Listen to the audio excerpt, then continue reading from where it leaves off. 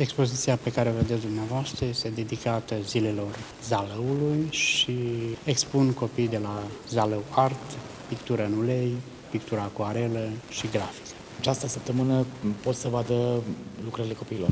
Categoric, pentru iubitorii de artă, invităm în holul primăriei ca să poată vedea lucrările micilor artiști de la Zalău Art. Pentru cei care nu știu, cine poate să vină să vadă aceste picturi?